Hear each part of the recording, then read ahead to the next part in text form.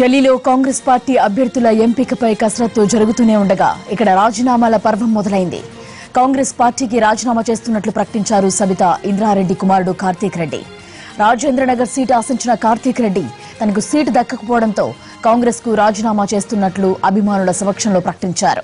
అభిమానులతో చర్చించిన తర్వాత నిర్ణయం తీసుకుంటానని చెప్పారు. చెప్పినాం. జ్ఞానేశ్వరన్న చెప్పినట్టు ఇదంతా కార్యక్రమం అయిపోయిన తర్వాత మేము అందరం కూర్చొని మాట్లాడుకుంటాం. మనందరికీ మంచిది ఏదో అదే నేను చేస్తానని చెప్పి నేను మాటిస్తున్నా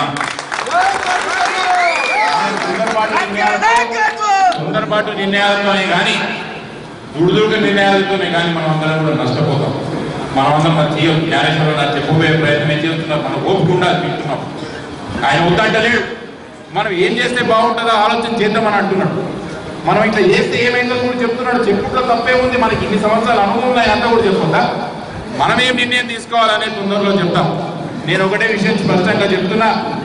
నేను నా ప్రాథమిక సభ్యత్వానికే కానీ రాయన్న నియోజకవర్గంలో కాంగ్రెస్ పార్టీ సభ్యత్వం ఎవరున్నా కూడా అందరి రిజిగ్నేషన్ కూడా మేము ఉత్తమ్ కుమార్ రెడ్డి నేను పంపుతాం.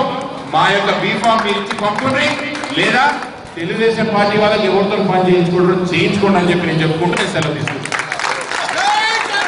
మనం చెప్పాల్సినంత మనం చెప్పినాం. జ్ఞానేశ్వరన్న చెప్పినట్టు ఇదంతా కార్యక్రమం అయిపోయిన తర్వాత మేము అందరం కూర్చొని మాట్లాడుకుంటాం. మనందరికీ మంచిది ఏదో అదే నేను చేస్తానని చెప్పి నేను మాటిస్తున్నా